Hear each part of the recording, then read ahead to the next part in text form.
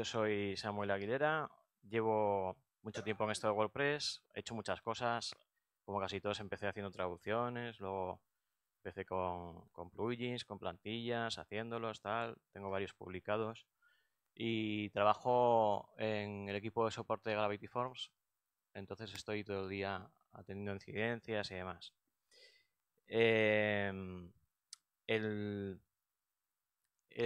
fin de esta charla es eh, la gente que no, que no, tiene mucho conocimiento de, de, cómo diagnosticar un problema en la web y tal, clientes finales o gente que os dedicáis a otras cosas como diseño, marketing y demás, y en cuanto se rompe algo, pues no sabéis ni siquiera por dónde empezar, pues la idea es que, en esta charla eh, tengáis una noción básica de, de ese cómo empezar, ¿no?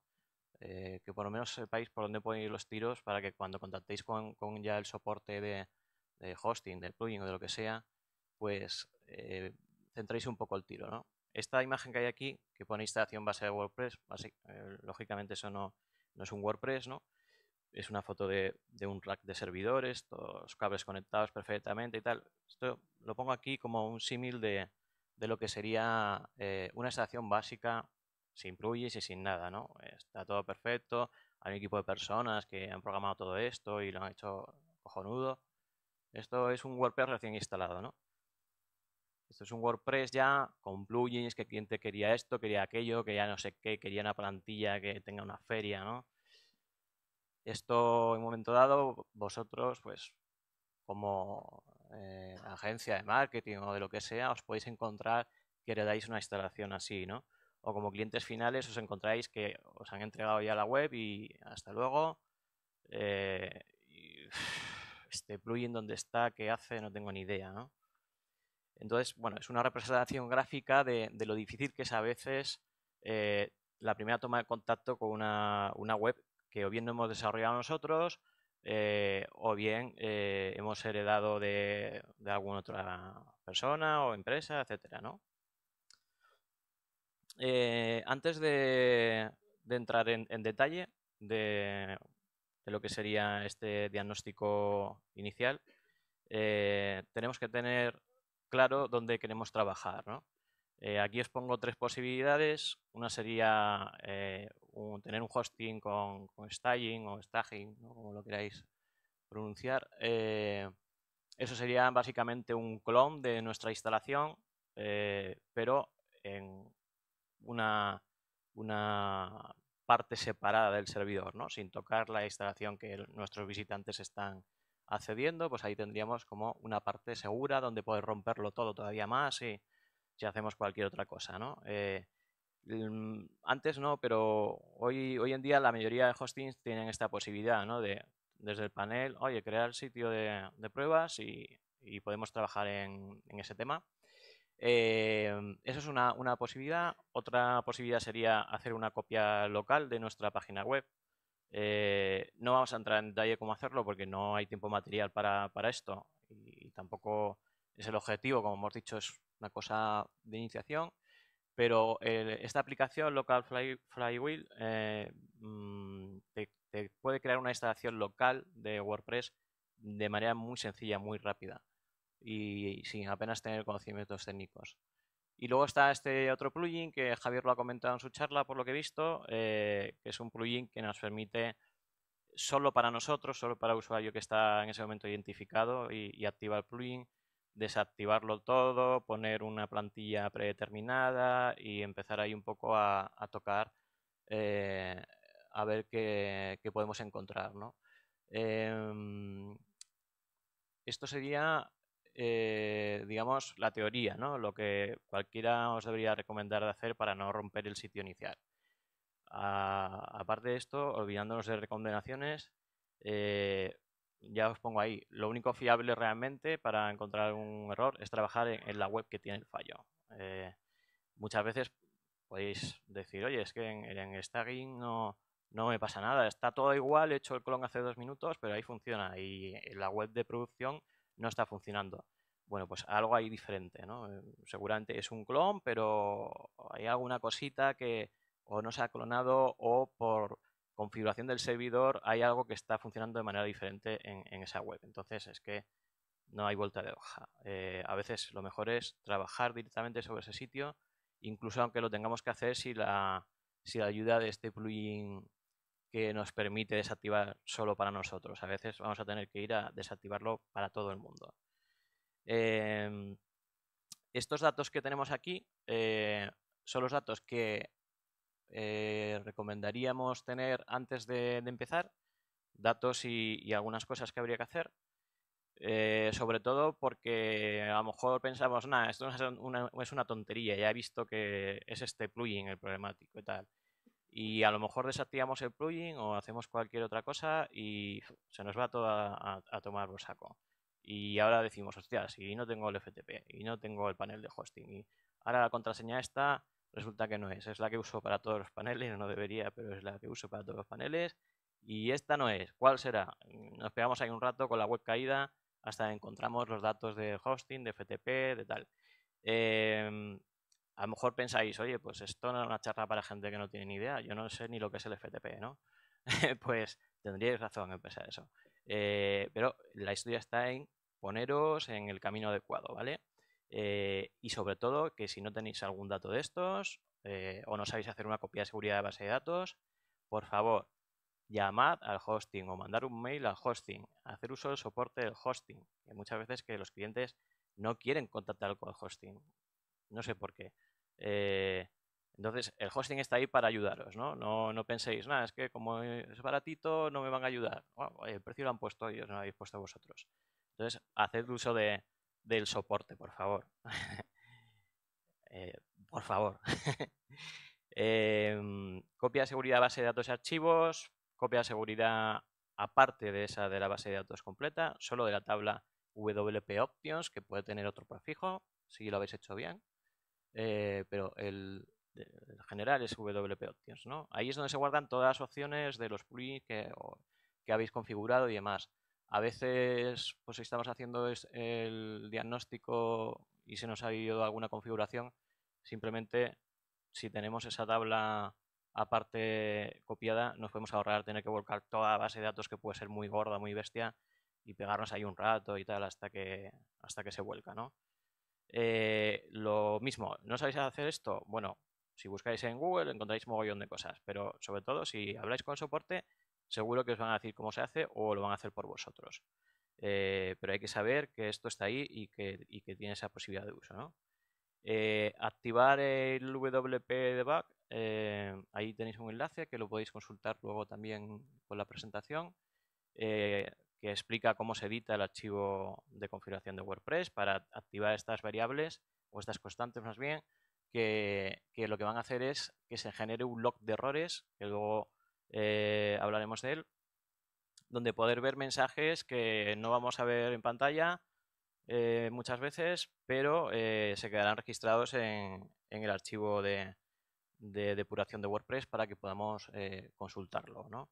Y este último punto, desactivar caché, minificación y CDN, por ejemplo, Cloudflare, cosas así, es muy importante. Esto, eh, como os decía eh, con lo del hosting, por favor, hacedlo. Lo primero de todo, desactivar cachés, eh, optimizaciones de la página, tal, no sé qué, ya sean en, formato plugin o en formato externo de algún servicio, hacedlo porque es que si no hacéis, todo el resto de, trabajo que vais a hacer de diagnóstico no os va a servir para nada. Porque si estamos viendo la página cacheada, por mucho desactivamos plugin de tal o de cual, vamos a seguir viendo la versión cacheada de la página y entonces estamos perdiendo el tiempo.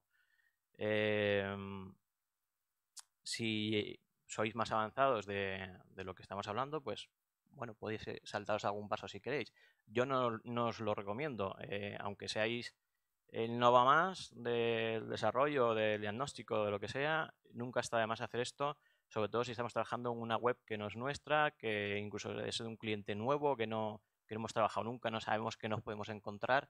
Es mejor hacer todo lo que, lo que vemos ahí, aunque nos lleve un rato. Eh, si sabéis lo que hacéis, muy bien, pues oye, pues, por supuesto podéis saltaros algún paso, ¿no? Tipos de errores. Em, básicamente yo los agruparía en, en dos grupos. ¿no? Eh, los del lado del servidor pueden ser de web, de PHP, de MySQL. Ah, depende del hosting, puede haber otros componentes, pero estos son los, los principales. Y el lado del navegador, que vamos a tener pues temas de HTML, de CSS, de JavaScript. en función del error, pues eh, vamos a, a, tener que mirar unas cosas u otras y, a veces vamos a tener que mirarlo todo, ¿no? Porque hay errores que se pueden, digamos, asociar entre ellos, ¿no? Un error de, del servidor puede generar un error de JavaScript en el navegador. Eh, a veces se complementan para hacernos la vida más alegre y, tenemos que mirarlo desde los dos focos. ¿no? Errores comunes del servidor. Estos que os he puesto aquí son bastante eh, comunes y, bueno, em, en general ahí tenéis una explicación de, cada uno, un poco general para, para entender por qué se produce error. El 500, por ejemplo, es, es un gran amigo de todos es el que nos rompe la página y impide la, ejecución del resto de código. El 403, eh, que suele ser de negación de alguna operación que se le ha pedido al servidor. Por ejemplo, hemos querido enviar un formulario y lo, ha bloqueado esa petición, pues normalmente es por configuración del servidor, algo en el servidor o en, un archivo de, de HT o un plugin de seguridad nos ha bloqueado esa petición, eh, no, nos deja, no nos deja avanzar. Eh, el 502 y el 504 son parecidos, muy relacionados, suelen ser errores que ocurren cuando nuestro servidor no está trabajando solo, sino que tiene un proxy por delante.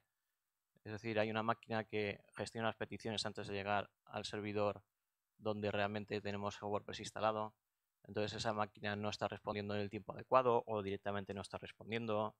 El 503 suele ser un error eh, de que en ese momento el servidor no tiene recursos suficientes para para ejecutar la petición. Por ejemplo, no tiene suficiente memoria. Entonces, si a lo mejor recargamos la página, ah, ya funciona. Pues es que justo a lo mejor cuando hemos recargado ha habido menos visitas en, ese instante y ya ha habido memoria suficiente. Em, y luego he puesto el grupo de JavaScript, HTML, CSS, pues como os digo, el JavaScript cuando se rompe, pues normalmente lo que hace es que perdemos funcionalidad del sitio web. Por ejemplo, si tenemos un carrusel y se ha quedado ahí fijo y no, hace nada, solo muestra la primera ficha y tal, pues eso nos está indicando que ese JavaScript que lo gestiona se ha parado. Ya puede ser por un problema propio suyo o porque otro script ha, hecho que se rompa el ciclo de ejecución del JavaScript en la página. Y HTML y CSS, problemas que nos pueden dar, pues básicamente son de visualización, ¿no? Oye, es que no, es que no veo, hay un campo del formulario que no lo veo y tal. Eh, o es que hay aquí un margen muy grande. Eso ya nos está indicando que en algún sitio hay una regla de CSS que está variando las propiedades de ese elemento y entonces vemos ese margen o, no vemos el campo, algo, algo hay ahí, ¿no? Eh, ¿Cómo averiguamos de, dónde viene de dónde viene el error? Em, esta, dinámica que veis aquí es muy, muy básica, muy sencilla, cualquiera la puede hacer y se puede entender. Y a veces a lo mejor no, apetece hacerla porque tenemos una instalación con 50 plugins y no queremos desactivarlos y todo esto, ¿no? Pensamos que, no, esto no es de la plantilla, no puede ser, ¿para qué voy a cambiar la plantilla si yo lo veo todo bien? La plantilla a veces es mucho más que, lo que estamos viendo, ¿no? Eh, puede tener funciones personalizadas eh, para determinadas cosas que a lo mejor no debería estar haciendo la plantilla, pero las está haciendo. Hay infinidad de cosas que, pueden estar causando el error o ayudando a que ocurra sin saberlo, ¿no? Entonces, em, este, este guion que, tenéis aquí pues es infalible. Lo podéis hacer o con el plugin este como os comentaba al principio, que desactiva las cosas solo para nuestro usuario el que ha iniciado sesión, o eh, lo podemos hacer em, a pelo, ¿vale? Directamente si estamos en la versión de pruebas de la web o si nos sentimos capaces de, reaccionar ante las posibles consecuencias de, hacerlo en, la web de producción. Si a lo mejor pues estamos haciendo un horario que sabemos que no tenemos muchas visitas y tampoco va a tener un impacto eh, en los visitantes, pues podemos hacerlo así. Em, básicamente es lo que, lo que hemos comentado. Desactivar todos los plugins antes de nada, todos los plugins desactivados. Eh, intentamos ver si el error sigue ahí. ¿Sigue el error? Bueno, pues ya no es un plugin, ya podemos activarlos todos. Eh, ya hemos terminado. ¿Sigue el error? Eh, mm, hay que pensar en la plantilla, lo primero, ¿no? A lo mejor es la plantilla y tal. Cambiamos, activamos todos los plugins y cambiamos a la plantilla. Mm, o sea, una predeterminada de WordPress. 20, lo que sea, ¿no? 20 17, lo que sea. no hay error. Vale, cojonudo esa plantilla. ¿Qué hacemos ahora? Bueno, pues ahora veremos eh, alguna cosa que se puede mirar y si eso no es, pues a contactar con, el desarrollador de la plantilla. No, que la tengo que no la he pagado tal. Mm, págala. mejor, mejor porque mm, hay muchas veces que te dice un cliente, oye, ¿no te puedo pagar para que lo mires tú? Eh, no, mejor compra la plantilla. Por dos cosas. Primero, porque estaremos ayudando a ese desarrollador a que se gane la vida como, como cualquiera otro. Y segundo, porque es el que mejor conoce su plantilla. Entonces, ¿para qué vamos a perder el tiempo a intimar con la plantilla, tal? ¿Y tú qué haces? ¿Este? Y tal, ¿y tú qué haces? Y por ahí mirando archivos hasta encontrar dónde, dónde, dónde está fastidiando el tema, ¿no? Em, el desarrollador le dices el error y seguramente, oye, si no lo tiene solucionado, sabe de dónde viene en un instante tal y cual, ¿no? Eh, en el caso de que Mm, la plantilla nos ha solucionado el problema. Eh, los plugins, si los vamos activando uno a uno, pues en un momento dado cazará, eh, saltará la libre, ¿no? Cazaremos el error. Eh, entonces, básicamente, pues ya os digo, tanto a un lado como a otro, pues lo que queráis probar antes, o la plantilla o los plugins. Descartáis un lado, vais al otro. y así es el tema ya os digo, es una cosa mm, lo más básico del mundo y, podéis pensar, joder, ¿para esto da una charla este tío? Pues sí. Eh, quiero decir, esto se usa hasta en las empresas más sofisticadas, ¿vale? Porque nadie puede saber mm, así a simple vista, bueno, hay errores que sí, ¿no? Pero nadie conoce tu instalación, la conoces tú y a lo mejor ni siquiera tú, ¿no? La conoce el que te la ha hecho. Entonces, eh, hay que proceder así. Hay que proceder así. Si queréis ahorraros muchos quebrados de cabeza y mucho correo va, correo viene con el soporte de quien sea, del hosting o de la plantilla, del plugin, tal cual. Pim, pam, pim, pam, pim, pam. Oye, mmm, cocínate esto tú mismo y aparte de que vas a aprender, te ahorrarás muchas frustraciones de es que esta gente no me hace caso tal y cual. ¿Vale? Eh, error del servidor. ¿Dónde podemos buscar explicaciones? Si hemos activado lo que hemos comentado antes de WP Debug y todo esto, eh, pues tendremos, em, si es un error de servidor, en el archivo debug.log debug.log de la carpeta WP, eh, Content, tendremos un archivito que ha generado WordPress, donde vamos a ver pues eh, una serie de mensajes y, y demás, ¿no? Em, no siempre es posible para WordPress capturar el error, depende de qué tipo de error. Por ejemplo, si ha sido un error de un error 500 como comentamos antes de un error fatal de ejecución. Si la ejecución se ha parado en un momento en el que WordPress todavía no ha entrado es decir no, no ha podido ejecutar las rutinas que, que generan este, este archivo pues no vamos a tener nada ahí. Joder pues aquí no hay nada. Y, me pone error 500 en, el navegador. Yo ahí no veo nada. Pues entonces eh, posiblemente el hosting bastantes de los hostings eh, tienen un archivo que se llama así, como veis, error-log, que es el, log de errores del servidor. Ahí sí que debería estar, ¿vale? Eh, en, ese, en ese log, que incluso se genera normalmente en el hosting, aunque no hayamos activado lo de WordPress, ¿no? Como son cosas independientes, el hosting, muchos de ellos tienen el, el log de errores siempre activado. A lo mejor no debería ser así, pero lo tienen eh, entonces nos puede ahorrar el paso de activar WP Debug si, si lo vemos que está ahí ya. Normalmente está en el directorio raíz. Tampoco debía estar ahí, pero está. Eh, si ya lo tenemos, nos ahorramos activar esto que hemos comentado de, de la configuración de WordPress y, nos, nos, ahorra tiempo y trabajo porque ya lo ha estado registrando antes de que nosotros ni siquiera hubiéramos experimentado ese, error. Esto, por ejemplo, es un, par de ejemplos de errores que podríamos encontrar en debug log o, en el error-log de, de nuestro WordPress. Eh, son errores fatales, quiere decir que esto normalmente en el navegador se va a ver como un error 500. Eh, el primero es porque no ha podido abrir un archivo, lo dice ahí, entonces leeros los mensajes de error. Esto quiero ser muy leeros los mensajes de error, por favor. Enteros. Leeros el mensaje de error entero. Porque aparte de que lo pone, aunque está en inglés, pero si no sabes inglés, oye, copia pega al traductor de Google y aunque lo traduzca así un poco tal, algo se os va a quedar ah, hostias, pues eh, ha fallado el abrir un archivo que requiere, que es obligatorio. Pues está clarísimo. Eh, quiero decir, a lo mejor no tenemos ni idea qué significa esto, ¿no? Pero ha fallado abrir un archivo. Bueno, pues sigue leyendo y ya te pone ahí la, ruta, ¿no? Eh, home, user, public, tal, no sé qué. WP content, plugins, mi plugin, que puede ser ahí, pues mi plugin puede ser cualquier plugin que tengáis. Eh, includes tal. Ese es el error que. No, perdón, ese es el archivo donde ha ocurrido el error, ¿no? Y, el que tenemos eh, donde nos dice ha fallado al abrir error, file opening required, eh, includes barra funciones. Ese es el archivo que falta.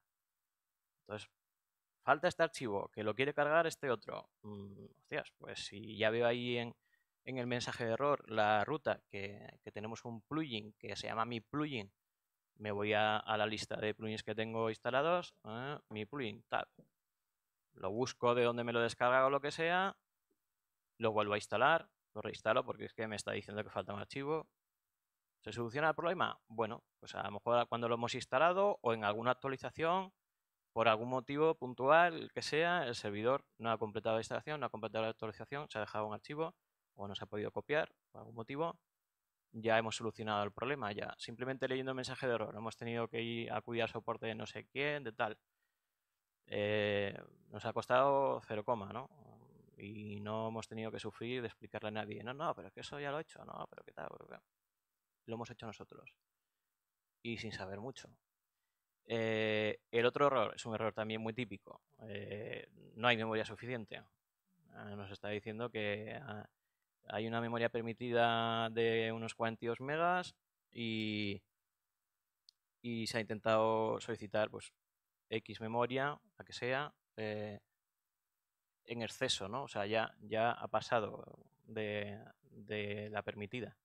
El momento que leéis la primera parte hasta exhausted, eh, ahí ya dice la memoria tal está agotada. O sea, lo que venga detrás importa poco, ¿no? Donde dice que se ha intentado try todo lo que y tal, se ha intentado reservar tanto. Eso importa poco cuánta cantidad se ha intentado reservar.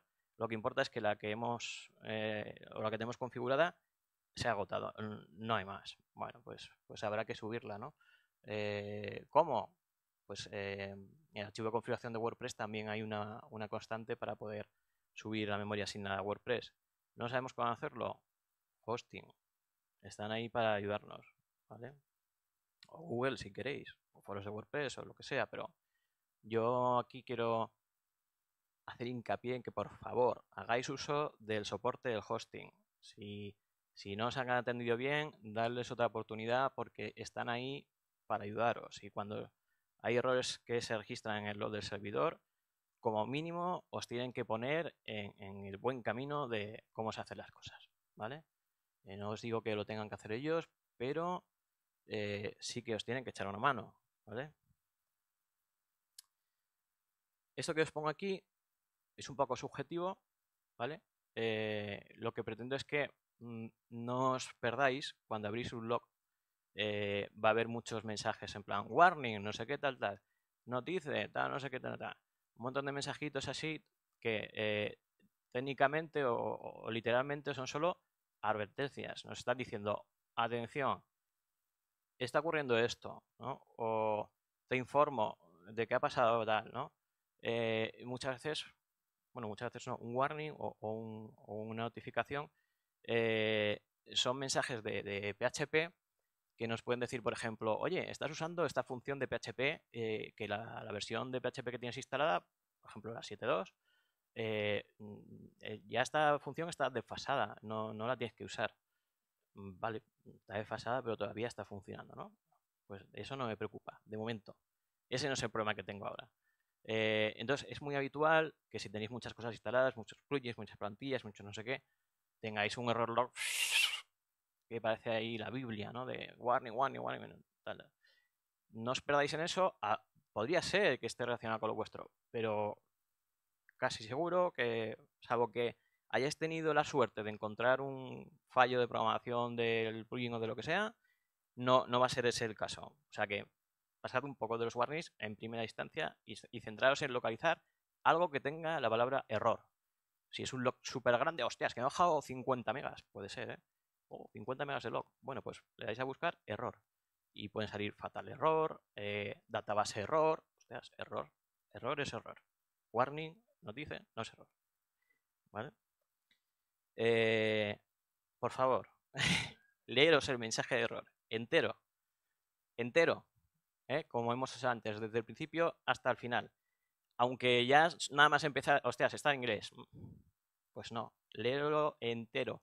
Porque aunque no tengáis ni papá y aunque no queráis hacer dos clics para traducirlo en Google, eh, si seguís leyendo y a lo mejor estáis la ruta del plugin como hemos dicho antes, ya tenéis una pista. Hostias, este plugin.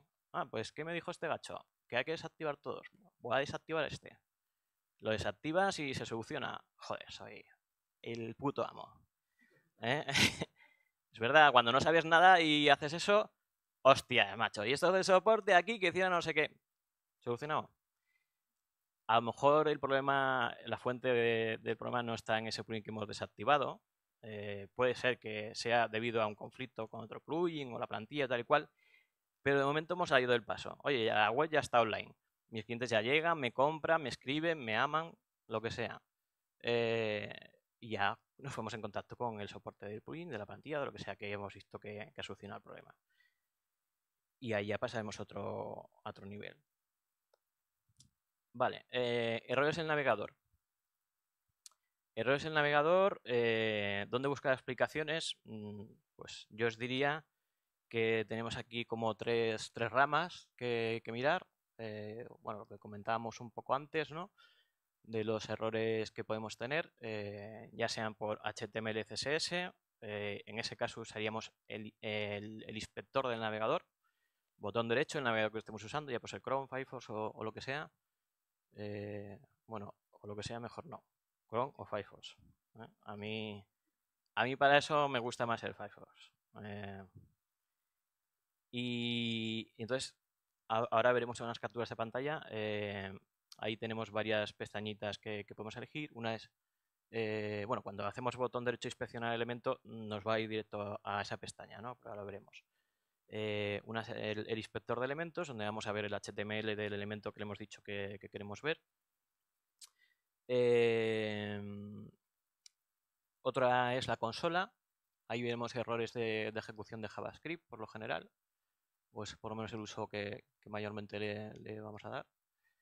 Y otra es la pestaña de red, para ver errores de peticiones HTTP. Las peticiones HTTP son, eh, digamos, las peticiones que el navegador, nuestro navegador, está haciendo al servidor web. HTTP es un protocolo de comunicación, ¿no? Entonces se está comunicando con el servidor a través de esas peticiones. Cuando cargamos una página, pues se puede ver chorrocientas peticiones HTTP porque estamos pidiendo chorrocientos archivos o lo que sea, ¿no?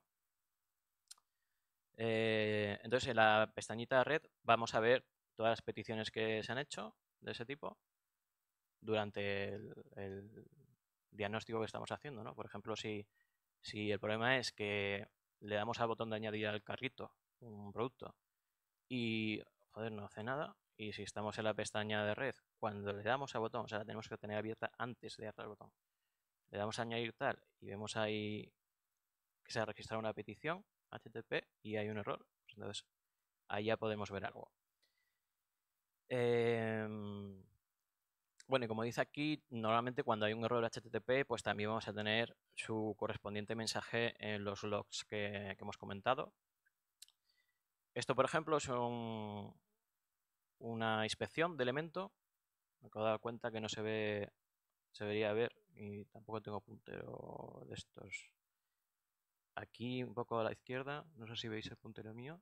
¿eh? Ahí un poco a la izquierda estaría el inspector, está en inglés porque normalmente yo trabajo con la versión en inglés, pero, pero bueno, también en español sale en español. Entonces, eh, aquí está seleccionado el, elemento, que es un campo del formulario, lo tenéis resaltado aquí arriba. Eh, esa, zona amarilla son márgenes, ¿vale? Entonces, digamos que está resaltado todo el campo del formulario, lo amarillo son márgenes. Y aquí lo que estamos es eh, buscando precisamente eso, un margen, un margen extra. Hostias, es que entre este campo y este otro campo hay más espacio del que yo suelo tener. Eh, ¿Qué pasa aquí? ¿no? Puedes contratar algo de soporte o puede ser un hombre o una mujer en condiciones y decir, esto lo miro yo, que me lo ha enseñado este tío. Eh, entonces eso, inspector de elemento. Yo me pongo aquí arriba, botón derecho, inspeccionar elemento, me saca esto. Vale, y a la derecha eh, tengo el CSS que, está afectando a este elemento, la barra de scroll para bajar y ver todas las reglas CSS. Más a la derecha tengo como un croquis ¿no? del elemento y ya estoy viendo aquí margin 16 por arriba, 15 por abajo. Ese, es el que yo quiero. Entonces busco aquí en las reglas ti, ti, ti, y cuando la encuentro, que es esta que está aquí arriba, esto es una captura superpuesta, ¿vale? No va a salir así en el navegador, sino que lo veríais abajo donde, donde hemos empezado. ¿eh? Entonces aquí, aquí al ponerte encima del archivo vemos que es un margin button 15 píxeles, está, lo mismo está en inglés, es CSS. Si no sabéis CSS, pues buscad un tutorial de CSS que es que es lo más básico del mundo y, si lo aprendéis después pues va a ser mejor. Os ponéis encima del archivo que está diciendo aquí y ya os sale la ruta completa. Que hemos dicho antes, leeros el mensaje de error completo. Bueno, esto no es un mensaje de error, pero leerlo completo también. Eh, aquí tenéis toda la ruta. Eh, es un archivo de, la plantilla. CMS, tal, no sé qué, CSS, pum. Ahí está. Bueno, pues eh, si no queremos esa regla, mi recomendación sería que se lo digáis al, al desarrollador para que os indique cuál es la mejor forma de, de evitar que esa regla se aplique, ¿no? que no queréis contactar con él, no podéis, tenéis una plantilla que no vais a actualizar en la vida tal. A Javier le preocupa, yo ahora mismo no me, no me preocupa eso. Editáis el archivo, ahí tenéis la ruta, ¿vale? Lo abrís, lo editáis, quitáis la regla, solucionado. Siguiente tema, eh, ejecución de JavaScript. Esto mm, sería la pestañita de consola que hemos dicho, aquí está. ¿Vale? El primero de arriba es muy común, jQuery es not defined y tal. La mayoría, inmensa mayoría de veces que, esto ocurre, va a ser que la librería jQuery o no está, por algún motivo no se ha cargado en la página, o la hemos movido al pie de página, porque alguien nos ha dicho que eso es cojonudo para optimización y tal y cual, carga de puta madre. Vale, carga de puta madre, pero ya no te funciona el carrusel, por ejemplo. Pues hay que dejarlo en la cabecera. ya lo siento. Esto es así. o la de abajo, eh, perdón, mm, no he hecho nada. La de abajo, que es de Google Maps, mm, eh, lo que hemos dicho antes, leer el mensaje de error completo. lo pone bien claro. Has incluido la librería de, de Google Maps JavaScript varias veces en esta página. Esto puede causar errores inesperados. Pues ahí está el error, ¿no? Eh, no hemos incluido nosotros la tal, es que no tengo ni idea qué me estás contando. Bueno, pues tendrás un plugin relacionado para Google Maps, que tal, pues a lo mejor el plugin está mal, prueba a desactivarlo.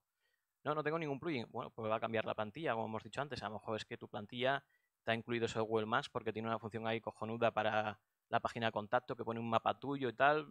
Nadie lo ve el mapa, pero te está fastidiando la página. Pues contactamos con el desarrollador, oye, ¿cómo se quita esto? Eh, error 403 al, al, enviar un formulario.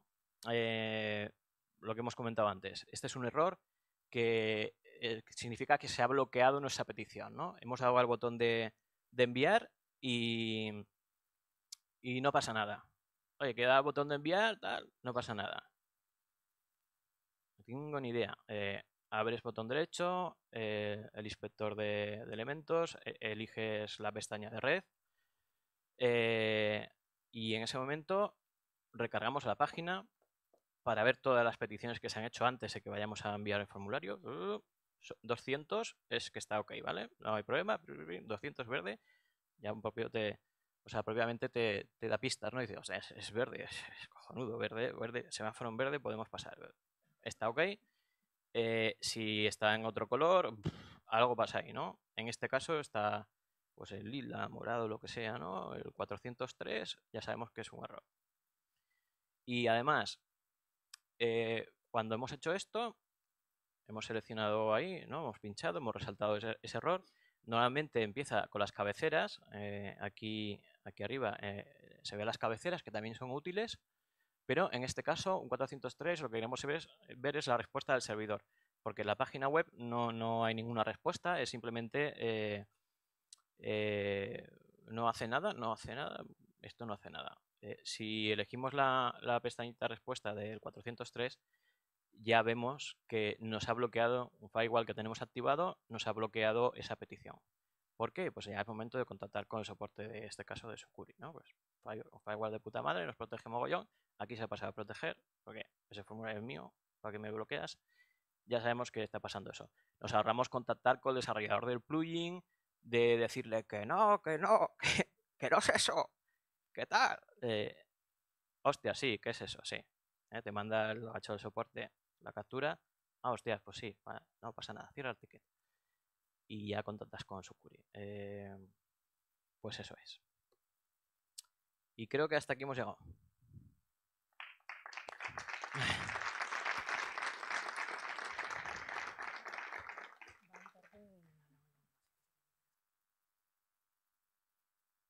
Eh, hay por retrasos y tal, que si queremos preguntar, hasta mañana podemos estar aquí.